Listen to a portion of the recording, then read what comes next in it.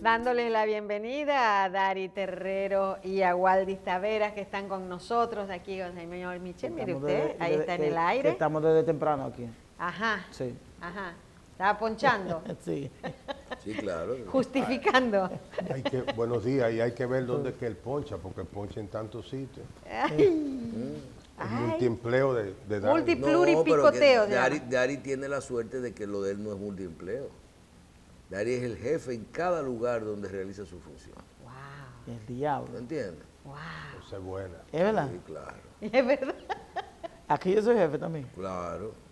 Aquí el único lugar donde yo soy jefe. No, no. Bueno, Es aquí, el aquí- único lugar donde yo soy aquí- jefe Aquí, aquí. lo eres, pero, pero yo No, te no, digo- aquí el único Mira, lugar donde yo soy jefe es aquí. Cuando estaba ayer viendo algunas discusiones en las redes de, de lo que se hablaba del grupo Corripio, no del grupo Corripio, que las encuestas, que la- No, las no. opiniones, la- yo te digo algo.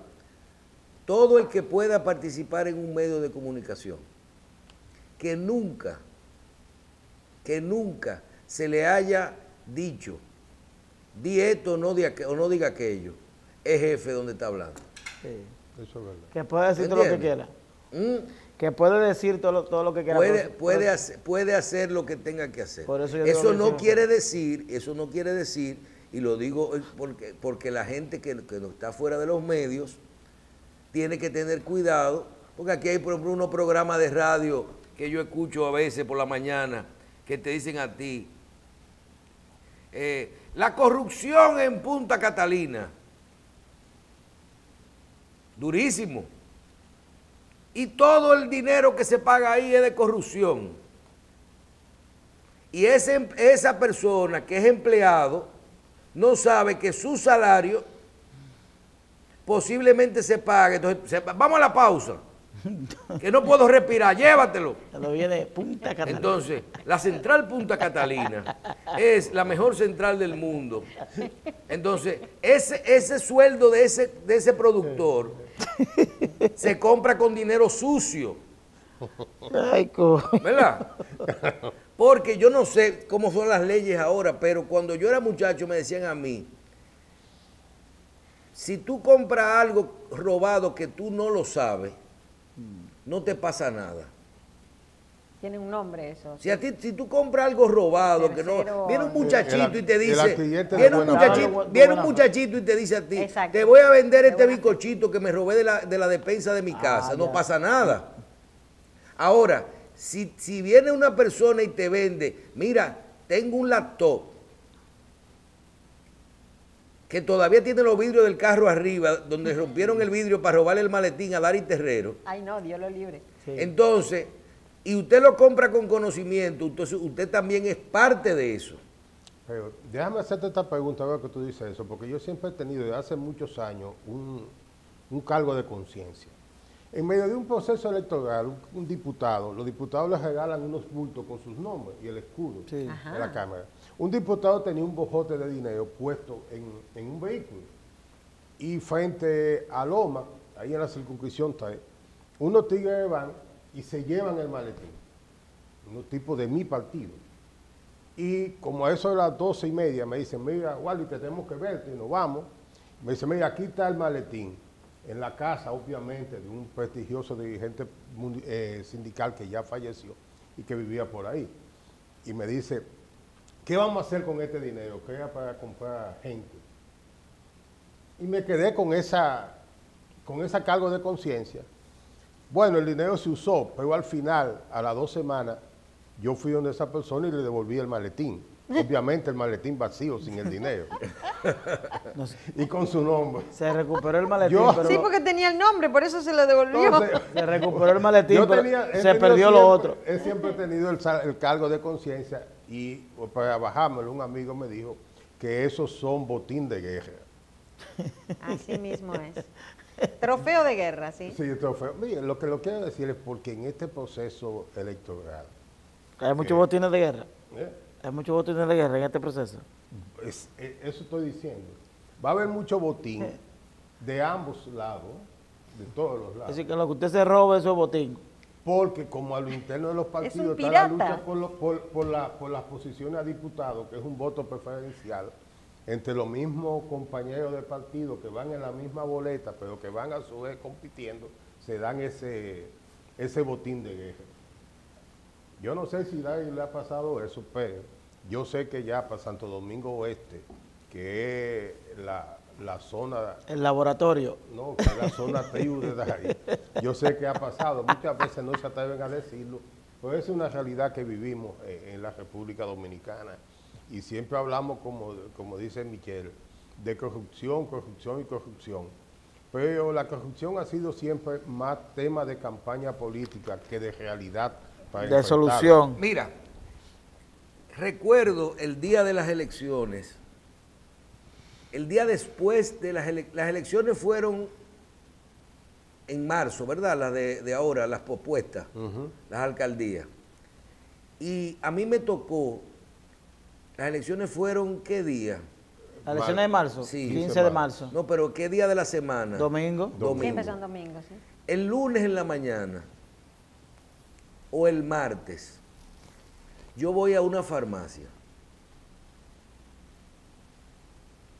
y estamos en medio de la pandemia, ¿verdad? Sí. Y yo me pongo mi mascarilla, mis guantes, me, me desmonto, pero hay cierto distanciamiento en la fila de la farmacia y hay pocos dependientes. Estaba todo muy organizado. El caso es que me tocó en la fila al lado un tipo que me hubiera gustado ser Dari, que anda con una cámara listo para grabar todo. Ah, sí, yo sí. Ese, ese señor estaba haciendo una descripción de por qué en su de por qué se perdieron las elecciones en una zona determinada a un partido político. Pero hizo el, el- el- al que él le está hablando, él le hizo la explicación de cómo funciona lo que se llama el dinero del día D. Óyeme, La habían logística. 800 mil pesos que ese muchacho le iban a poner la mano. Y esos 800 mil pesos tenían, tenían, una, una, Tenían una distribución. una distribución. El único problemita que hubo fue que una persona repartió 100 y se quedó con 700.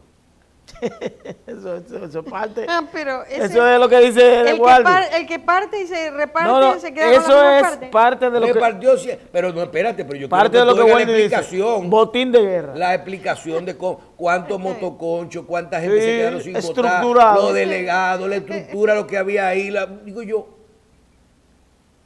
óyeme, ese ejemplo es el ejemplo más claro de cómo se manejan las elecciones en República Dominicana. Nosotros antes de comenzar, Marcela hablaba del, del de- hablábamos de lo que significa este dinero, del, del- los- lo que se gasta en una campaña. Señores, que- aquí hay una economía, aquí ahora hay una de economía caravana. de gente que viven de las campañas políticas. ¿O Claro. Ustedes se creen, realmente ustedes se creen que esos políticos que ustedes han visto que nunca han trabajado en su vida, ni han tenido un cargo, ni hay que tienen 20, ¿de qué viven? Mira, ¿De qué viven, Guardi? mira, e- ellos hay do- dos formas de vivir. Pero también el- hay gente que aspira para eso, para liquidarse. A ver, a ver, quiero aprender, Hay- quiero aprender hay de algunos- Waldis. Hay algunos que tienen negocios en los que no son ellos que lo encabezan, sino que la esposa tiene una La venta- la venta de algo. tiene una farmacia, pero eso es la esposa o la hermana, el hermano, y ellos permanecen solamente con los beneficios que eso genera. Por eso, cuando las elecciones se unificaron en un mismo año, mucha gente Mucha gente opuso. se puso la mano en la cabeza. ¿Por porque- qué? Porque cobraban cada dos años. Pero si hay algo eh, significativo, y nosotros lo decíamos aquí cuando se aprobó la ley eh, del régimen electoral y la ley de, de partido, ambas, dos grandes tollos históricos para el Congreso que, que termina el 16 de agosto, decíamos que los partidos políticos y el Congreso, el Estado Dominicano, le puso precio a las candidaturas.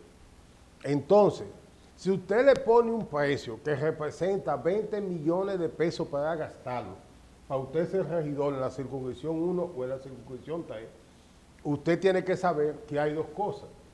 Esa persona que gana 150 mil pesos mensuales, eh, que son a, a 48 meses más los cuatro del salario está ese, 52 meses que va a cobrar, eso le va a representar 7 millones y algo. Pero él gastó 20. ¿Dónde hacemos, qué hacemos con los otros? Eso nomás tiene dos sentidos. O lo invierte porque es parte de una estructura que viene un chin más arriba, porque aquí se discutió también el poder de los diputados que apoyaron a candidatos a regidores. Entonces eso te dio a ti un poder determinado. Y o te apoyó ese sector que tiene unos intereses determinados, o tú tratarás de ir ahí a recuperar ese dinero. Y esos son uno de los grandes problemas que hay que abordar. Claro, en medio de este proceso, a día de las elecciones, abordarlo es hasta imprudente. Por lo que en ese sentido yo insisto mucho en que terminado este proceso hay que sentarse a ver cómo el lavado social no puede provenir de, lo- de la actividad política. Antes de comenzar, hablabas un poquito de, de el rol de los ayuntamientos y de, la, de mantener una ciudad limpia dentro del problema de, de la pandemia, pero también tú tienes que mantener la ciudad limpia. Yo veía, por ejemplo, el otro día yo venía bajando la Tiradentes y yo me paro y agarro mi celular para grabar porque hay unas guaguas desmontando unos afiches de unos candidatos del PRM. Pero en el semáforo más para adelante no me pude parar, veo que hay otro muchacho desmontando uno de un candidato del PLD. Entonces veo que la guagua era de la Defensoría del Pueblo o de que sé yo qué de espacios públicos, de, de limpieza de espacios públicos. Y es que no se puede poner un afichito en una mata. No, es imposible. Primero, y yo lo que, y qué bueno que, porque antes estábamos tratando el tema. Fíjense, la publicidad, los espacios de publicidad tienen que, están regulados por ley. Aquí se produjo eh, en el 2001, 2000-2001, la ley de medio ambiente y recursos naturales. Fue una ley que impulsó Hipólito Mejía desde la presidencia de la República. Y esa ley prohíbe que usted coloque, ah, eh, que clave los árboles. Los árboles no se le puede eh, poner un clavo. Y lo que tú dices, Michelle, es una realidad. Justamente eh, el viernes, la alcaldesa de la capital pegó el grito al cielo y dijo Carolina Mejía que ella quiere que los partidos políticos quiten la publicidad y que todo eso. Luego lo hizo también Carlos Guzmán de Santo Domingo Norte. El distrito y Santo Domingo Norte y Santo Domingo Este son los tres territorios más contaminados. contaminados visualmente. Eso se le llama contaminación visual. Si tú tomas, bueno, a ese, ese equipo es un equipo del ayuntamiento, Defensoría del Espacio Público, pero la saturación de la propaganda irregular es tal que los ayuntamientos lo han permitido. Que es una, eso no pasó, ¿eh? En la gestión de Roberto Salcedo eso no pasó. Eso hay que admitirlo, ¿eh? Porque el reglamento viene del 99, hubo algo de publicidad en la, campaña del 2000, no, ni 2002, ni 4, ni 6, ni 8, ni 10, ni 12 se produjo publicidad contaminante en el Distrito Nacional. Eso hay que decirlo. ¿eh? Ahora, 16 y 20, esto ha sido una cabosa. La alcaldesa de la capital pegó el grito al cielo, pero hoy, cuando venía para acá, yo venía toda la Bolívar. Y la avenida Bolívar en la mañana tú la ves más fácil porque no tiene... Pero Waldi, yo hablo, yo hablo con, con, con- a- tú hablas con la alcaldesa y te dice a ti, es que lo quito y lo ponen al otro día. Entonces, régimen de consecuencias. Claro, hay, hay régimen de consecuencias. la autoridad está Y oigan este dato. En la ley del régimen electoral se establece que la- los partidos... ¿Y tú te crees, Waldi, con la experiencia que tú tienes, que República Dominicana está preparada hoy para que una alcaldesa del Partido Revolucionario Moderno o de cualquier partido coja un candidato y le quite unos afiches y lo someta? No, pero Yo hablamos de eso sí. aquí porque No, incluso la junta, no, a la junta, no. la junta electoral tiene la autoridad para hacerlo. Pero no, pero hay un procedimiento muy sencillo Sí. establecido, establecido en la En la ley, régimen en- electoral. en la ley electoral. Oye, terminado el proceso, porque se perdió Lo- también... lo- oye, me lo queman. No, No, pero hay una, oye, Pero oye lo que establece la ley. ¿Qué establece la ley? Mira, terminados los procesos mediante ordenanza, los ayuntamientos deben de poner en mora a los partidos y los candidatos Que a no retiren publicidad. esa publicidad. Si no lo hacen, en el plazo que establece esa ordenanza, el ayuntamiento lo retira, lo factura Y le manda se su lo factura. manda a los partidos. Si en el plazo que establezca esa ordenanza que los partidos deben pagar no se paga, se va y lleva la factura a la Junta. La Junta se lo Y la. Junta Central Electoral está en la obligación de descontárselo de la asignación mensual que le hace a los partidos políticos. Una pregunta. Ahí está la, oye, ahí está la propuesta de normativa. Eh, yo no puedo separarme de, de- de mi vínculo con, con el ayuntamiento de la capital. Para mí es imposible. ¿Por qué? Porque yo he trabajado ahí mucho tiempo. Eh, Carolina para mí eh, eh, es mi hermana. Y estuve ahí al lado de ella durante todo el proceso. Y, y de alguna forma u otra puse mi granito de arena en la propuesta. Pero ella tiene el gran reto por dos razones. Porque lo que se hace en la capital repercute fuera de Claro, de- es, país. es un referente. Es, es para todo, ¿eh? Segundo, mira, para ella debe ser reivindicar la ley de medio ambiente que impulsó.